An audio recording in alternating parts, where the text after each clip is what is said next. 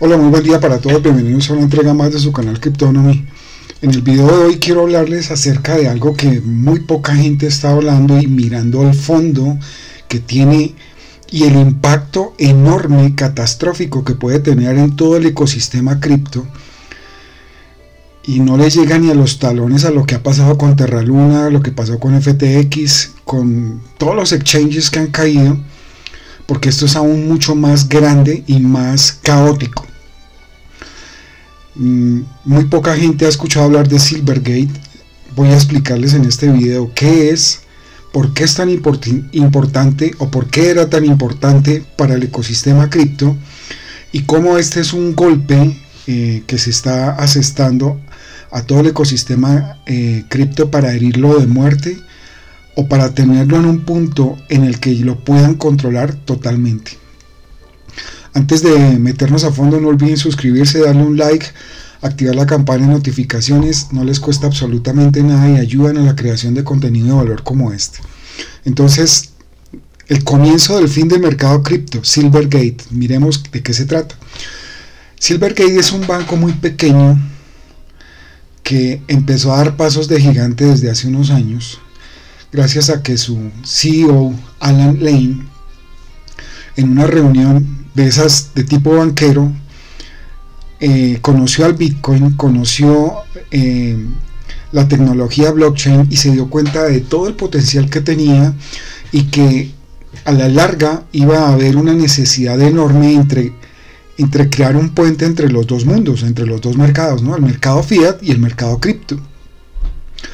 No quiero alargar la historia, simplemente quiero decir que Silvergate, gracias a esa visión que tuvo Alan Lane, se convirtió de un banco pequeño a un megabanco.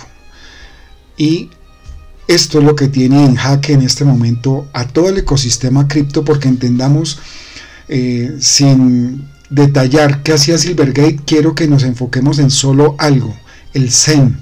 El CEN es el Silvergate Exchange Network. Es una red que permite hacer swaps entre fiat y cripto 7 horas, 24 horas al día, 365 días al año. ¿Sí? En tiempo real, transferencias de dólar entre exchange e inversores usando una API. Y miren los clientes que tenía eh, o con los que trabajaban en Silvergate y que usaban esta red Zen 7 x 24. Está Coinbase, Paxos, Genesis, Gemini, Binance US, Bitstamp, Circle y Erix. ¿Mm? Entonces, démonos cuenta que hay dos stablecoin que estaban metidas ahí 7 por 24, 365 días al año, como lo es Paxos con su BUSD y, y su Paxcol y Circle con su USDC y los de Chase más grandes estaban ahí, 7 por 24.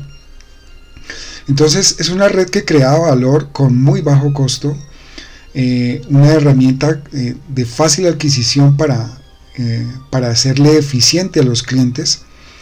y ellos tenían dentro de su roadmap emitir una moneda stablecoin, una stablecoin para mediados de este año y quiero que tengan muy en cuenta este dato, stablecoin del Zen del Silvergate. Ellos conocían perfectamente la operativa entre todo lo que eran pasarelas de pago, bancos cripto y exchanges y mm, fundadores o emisores de eh, monedas estables. Como, como este señor Lane entendía tan también todo el circuito porque llevaba años haciéndolo se dio cuenta que no había una mejor manera de interactuar con todos estos actores o, eh, todos los, eh, los actores significativos del, ecosistema, que no había eh, los stakeholders, es el término en inglés para, para esto, que no había una mejor manera de interactuar con todos con su propia stablecoin y la iban a lanzar quiero que se queden con esta información para las conclusiones al final. Entonces, el valor de la red de Zen era enorme y movía miles de millones de dólares por día. Esta compañía había capitalizado y había entrado a la Bolsa de Valores de Nueva York y su acción creció como la espuma.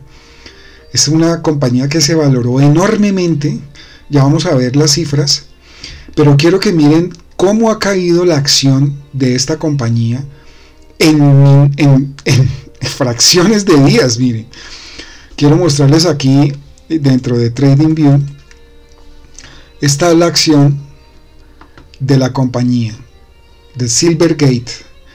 Desde el día 21 de noviembre del año pasado, perdón, 18 de octubre del 2021, empezó su declive y su golpe de muerte y en este momento la acción ha caído de una manera tan dramática que pasó de 239 dólares en su pico más alto, en su máximo, en su hype del 18 de octubre del 2021 a estar en 2 dólares en este momento. Y esto impactó notoriamente al Bitcoin. Si ustedes se dan cuenta de la caída, la última caída, esto, lo está, esto está pasando aquí desde el 3 de enero en adelante. ¿Sí? Cuando, cuando estiramos esto y vemos las cifras, fue el último golpe de muerte. Mire, este último trayecto es el que sacan las, las noticias pero ya había sido herido de muerte desde hace rato. Mire, este 42% es apenas la, la, cola de todo porque ya había sido herido de muerte aquí. Mire, desde el 2021 se está desangrando esta compañía. Y los actores, los, las megacorporaciones o la corporatocracia, como, lo, como es el término adecuado para usarlo, han venido dándose cuenta de que la importancia de los pilares sobre, los que se sostiene el mercado cripto y han buscado herirlo de muerte. ¿Para qué? Para quebrar estas compañías y luego comprarlas por centavos de dólar. Entonces, esto también ya está afectando al, al USDC. Miren, perdió la paridad con, con el dólar y ha caído un 1.72%, pero ha caído aún más. Ahorita se ha recuperado en algo, pero miren que de un dólar cayó, el, mínimo que tuvo fue de 0.879. ¿Ah? Eso es impresionante. Entonces, cuando, cuando no vemos sino el árbol y no vemos el bosque, no entendemos qué es lo que está pasando y hacia dónde va todo. Por eso yo los invito a que eh, entendamos a través de este video para dónde va todo. Entonces Silvergate se desplomó. Y miren lo que pasó el antes, o sea, con la red Zen de Silvergate operando, el banco de, de cripto operando al 100%, y cuando tuvieron que apagar la red Zen. Si ven el antes y el después? ¿Cómo controlan y manipulan el mercado? Ahora miren estas cifras tan absurdas para que ustedes se den cuenta la importancia que tiene eh, Silvergate, este banco de cripto, en todo el ecosistema cripto. Para 2019 eh, movió 20 billones de dólares apenas en transferencias. Para el 2020, en, en el primer cuarto, movió el doble, casi 39.8 billones para el segundo periodo, o sea, los segundos seis meses, duplicó esa cifra y se fue a 95.9 billones. Miren en el 2021, 406 billones, esto creció un 5x. Ahí es cuando los tentáculos y los hilos invisibles y la corporatocracia se despierta y dice, wow, esto que está pasando con Silvergate y empezaron lentamente a herirla de muerte. Miren el declive, 406 billones en el primer semestre del 2021, 381 en el segundo eh, semestre, en el primer semestre del 2022 333 y en el segundo semestre 229 billones. Silvergate se estaría contando una historia muy diferente si no hubiera tenido que apagar su red Zen porque eso le da una liquidez diaria brutal, pero la tuvieron que apagar. Y eh, esto es lo que pasaba antes de Silvergate, solo había liquidez de lunes a viernes de 9 a 5 de la tarde. Con la red Zen de Silvergate había liquidez 24/7, como lo dice esta imagen. ¿sí? Entonces, adiós al, a la liquidez 7 por 24. Miren, los, esto ya lo habíamos visto, son la red Sense conectaba a todo lo más importante del mundo cripto en Estados Unidos. Todo estaba ahí, todo estaba ahí. Ahora, una recomendación muy importante. Revise con qué banco cripto trabaja su exchange. Y si no le da confianza a eso, saque de una vez su liquidez y póngala en una, una cartera eh, fría o una billetera de hardware. Yo ya estoy haciendo esto y estoy tomando precauciones y tengo una SafePal con la que estoy trabajando ahora porque no sabemos qué va a pasar. Esto es un colapso que está tocando no solo al mercado cripto. Miren cómo Credit Suisse, uno de los bancos más antiguos y más grandes, ya se declaró en quiebra y va a empezar una catástrofe. Entonces hay que prepararse y hay que ver el bosque, no solo el árbol. A veces solo nos quedamos viendo nuestro chain y ya y solo las operaciones adentro y no vemos lo que está pasando en todo el bosque. Estas noticias están en desorden, me perdonan, no tuve tiempo de hacerlo cronológicamente, me interesa más que vean el qué y no el cuándo. ¿sí? Eh, las fuentes están remitidas ahí, la, el periodista y la fecha. Entonces, si ustedes quieren, solo toman esto y van a la fuente. Esto es de Coindesk.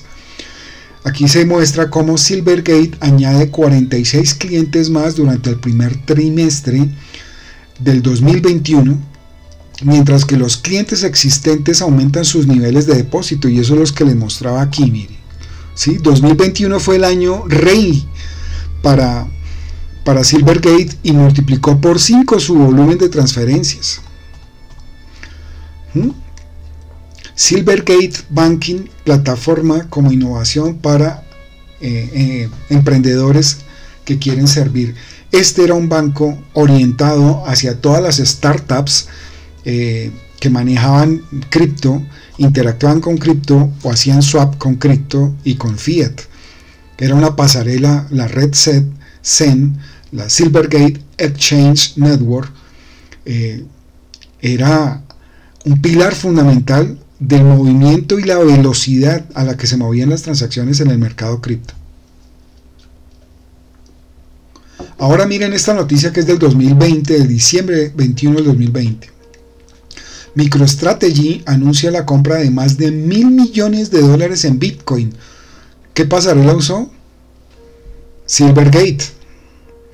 Coindays.com, esto es de el 1 de febrero de 2022. Diem confirma el cierre mientras Silvergate adquiere los activos del proyecto. ¿Qué era Diem? La stablecoin que quería sacar Meta o Facebook. Ellos querían sacar una stablecoin hace rato y estaban trabajando en esto porque el señor Lane entendía que si él creaba o sacaba rápido su stablecoin, iba a maximizar sus ingresos y los iba a multiplicar por mil. ¿En dónde entra todo a, a, tener sentido y a tener relación? Alameda Research y FTX eran clientes de Silvergate y tenían cuentas con ellos.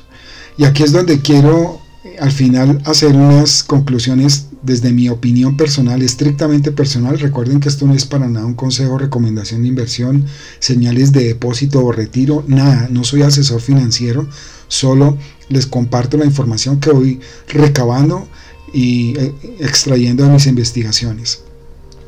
Coindesk, Coindesk, perdón. Eh, el banco Silvergate sube por falta de exposición a FTX. Cuando se cayó FTX, no se sabía o no se había dado a conocer que ellos, FTX y Alameda Research, tenían cuentas dentro de Silvergate. Y por eso no se afectó las acciones o el movimiento de Silvergate cuando se cayó FTX. Pero tras toda la información que se ha venido recabando sobre el tema, los análisis, la revisión de cuentas, la revisión de orígenes y, destino de todos esos movimientos y transacciones financieras, empieza a saber, y aquí es cuando empieza el comienzo del fin. Silvergate se enfrenta a una demanda colectiva por los acuerdos de FTX y Alameda Research. Si ven? Cuando se empieza a brindar una información que ya les voy a decir mi conclusión y mi visión, empieza a afectarse Silvergate Las acciones de Silvergate se mueven al alza después de BlackRock aumenta su participación. Esto es en el 31 de enero de 2023. Son de esas pequeñas eh, movimientos para generar algo de confianza para luego dar el zarpazo y la quiebra total. Y en eso es especialista BlackRock. BlackRock está detrás de la caída de, de Terra Luna, recuerden, eh, al igual que la, que la Fundación Circle y Citadel, para que lo tengan presente. El banco de criptomonedas Silvergate es el valor con más posiciones cortas. ¿Por qué? Porque sabían que, se venía algo grande, se venía que se iban a caer, se iban a derrumbar y estaban apostando eh, a la caída estaban, sabían con esa información de que ya se iban a quebrar, tenían que declararse en quiebra dentro de poco, tenían posiciones en corto para tratar de amortiguar un poco la caída, con información privilegiada.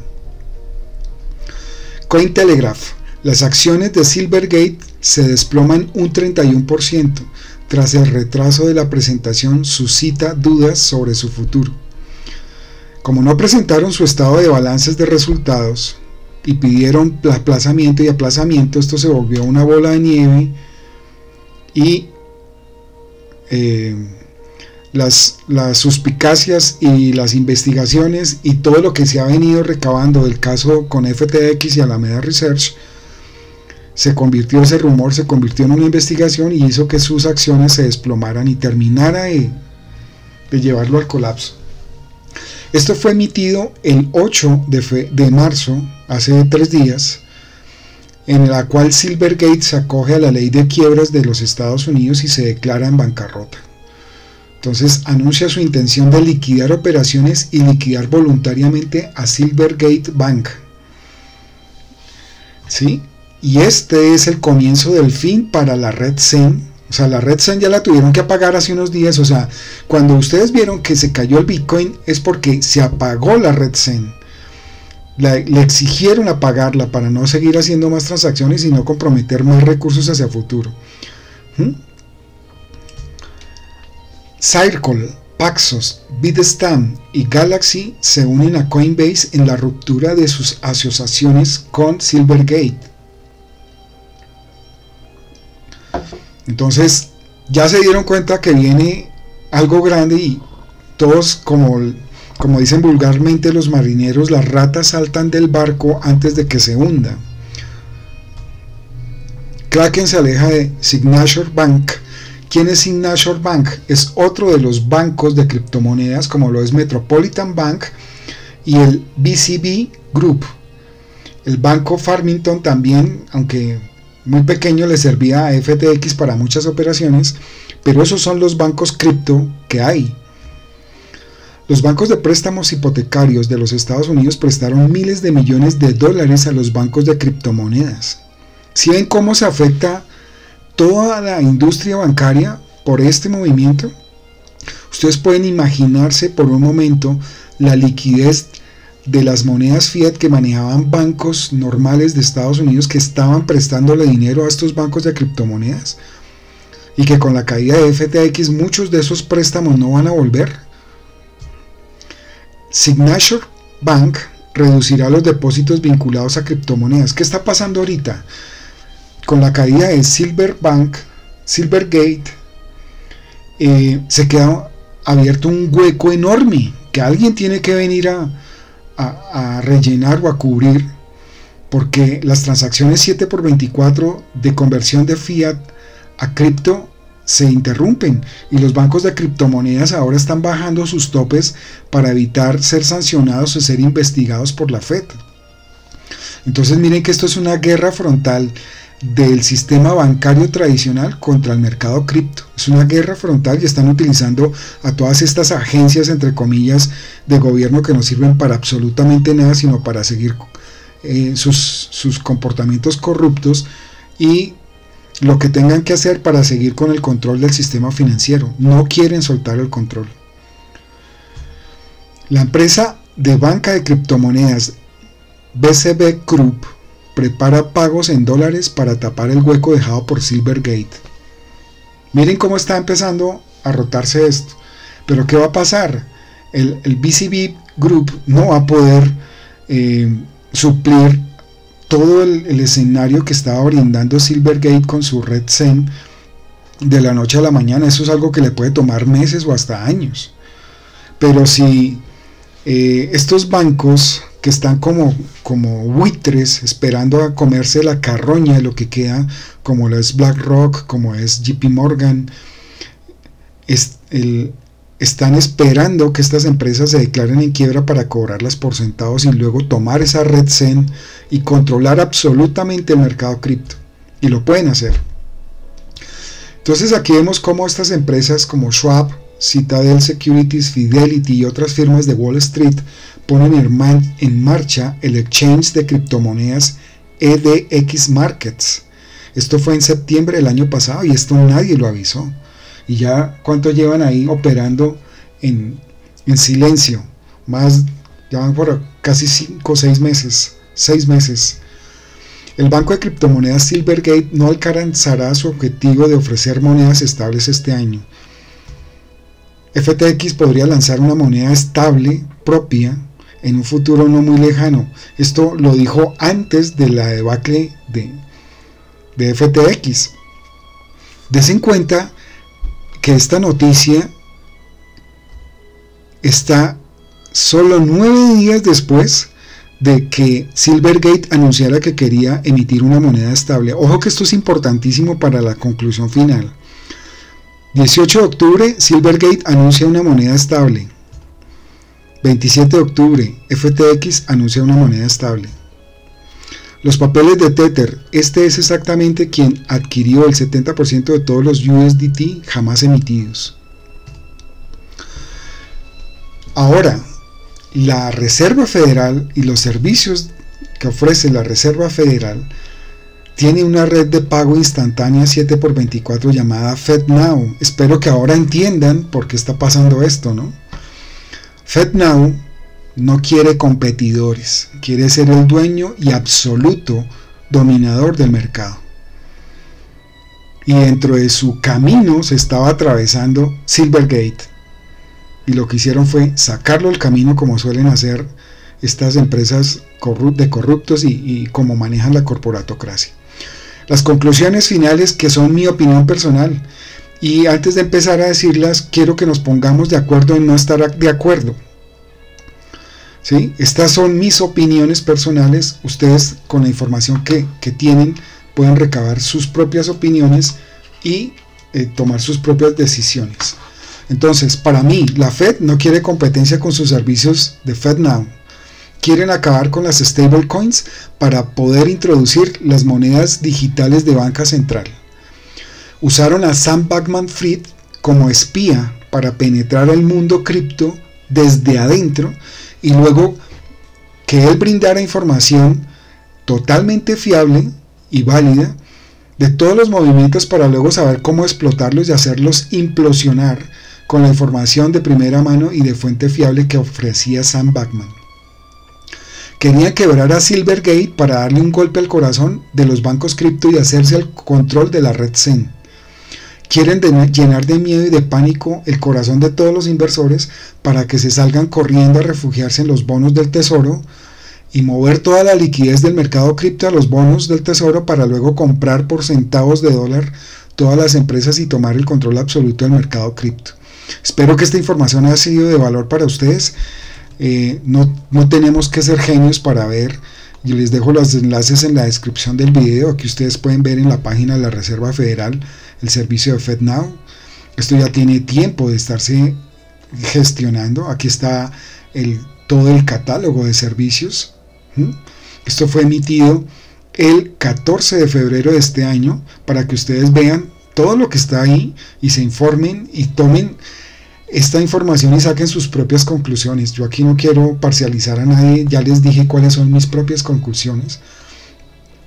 Miren que la red Zen está por fuera. Estas son las opiniones de, del señor eh, fundador de, de Silvergate. Y aquí vemos como Alan Lane eh, pues es una persona experta en el tema bancario que tenía una visión muy grande y que había hecho crecer nueve veces los activos de esta compañía en menos de tres años y se estaba volviendo incómodo y se estaba volviendo un palo en la rueda para los intereses de la Fed. Todos los, los eh, enlaces se los dejo en la descripción del video para que ustedes los consulten y miren, la, la red Zen está por fuera de línea. Esto es todo por hoy. Nos vemos en la siguiente entrega. Un feliz día para todos.